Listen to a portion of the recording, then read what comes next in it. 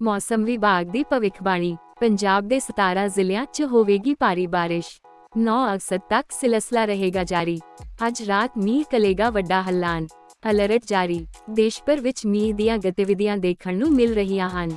ਕੁਝ ਥਾਵਾਂ ਤੇ ਭਾਰੀ ਮੀਂਹ ਕਾਰਨ ਹਰ ਵਰਗੇ ਹਾਲਾਤ ਪੈਦਾ ਹੋ ਗਏ ਹਨ, ਜਿਸ ਦੇ ਚਲਦਿਆਂ ਆਮ ਲੋਕਾਂ ਨੂੰ ਖੱਜਲ ਖੁਆਰੀ ਦਾ ਸਾਹਮਣਾ ਕਰਨਾ ਪੈ ਰਿਹਾ ਹੈ। ਫਿਲਹਾਲ, ਮੌਸਮ ਵਿਭਾਗ ਦੀ ਭਵਿੱਖਬਾਣੀ ਅਨੁਸਾਰ ਉੱਤਰ, ਪੱਛਮੀ ਭਾਰਤ ਵਿੱਚ ਹਲਕੀ ਤੋਂ ਦਰਮਿਆਨੀ ਬਾਰਿਸ਼ ਅਤੇ ਕੁਝ ਥਾਵਾਂ ਤੇ ਭਾਰੀ ਮੀਂਹ ਪੈਣ ਦੀ ਸੰਭਾਵਨਾ ਹੈ। ਪੰਜਾਬ ਵਿੱਚ ਇੱਕ ਵਾਰ ਫਿਰ ਤੋਂ ਭਾਰੀ ਮੀਂਹ ਦਾ ਅਲਰਟ ਜਾਰੀ ਕਰ ਦਿੱਤਾ ਗਿਆ ਹੈ। ਮੌਸਮ ਵਿਭਾਗ ਮੁਤਾਬਕ ਮਾਝਾ ਦੁਆਬਾ ਅਤੇ ਪੂਰਬੀ ਮਾਲਵਾ ਦੇ ਖੇਤਰਾਂ ਵਿੱਚ 17 ਜ਼ਿਲ੍ਹਿਆਂ ਵਿੱਚ ਜ਼ਿਆਦਾਤਰ ਥਾਵਾਂ ਤੇ ਭਾਰੀ ਮੀਂਹ ਪੈਣ ਦੀ ਸੰਭਾਵਨਾ ਹੈ। ਇਸ ਦੇ ਨਾਲ ਹੀ ਉੱਤਰ ਪੱਛਮੀ ਭਾਰਤ ਦੇ ਰਾਜਾਂ ਵਿੱਚ 9 ਅਗਸਤ ਤੱਕ ਮੀਂਹ ਦਾ ਅਲਰਟ ਜਾਰੀ ਕੀਤਾ ਗਿਆ ਹੈ। ਪੰਜਾਬ ਦੇ ਕੁਝ ਜ਼ਿਲ੍ਹਿਆਂ ਵਿੱਚ ਅੱਜ ਵੀ ਮੀਂਹ ਦੀ ਭਵਿੱਖਬਾਣੀ ਕੀਤੀ ਗਈ ਹੈ।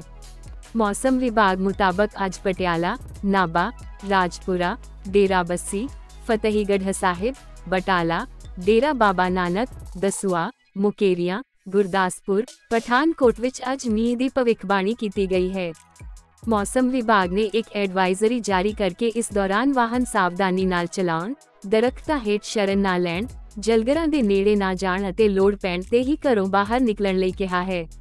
ਮੌਸਮ ਵਿਭਾਗ ਚੰਡੀਗੜ੍ਹ ਨੇ ਪੰਜਾਬ ਵਿੱਚ 07, 08 ਅਤੇ 9 ਅਗਸਤ ਨੂੰ ਵੱਖ-ਵੱਖ ਥਾਵਾਂ ਤੇ ਮੀਂਹ ਪੈਣ ਦੀ ਸੰਭਾਵਨਾ ਜਤਾਈ ਹੈ।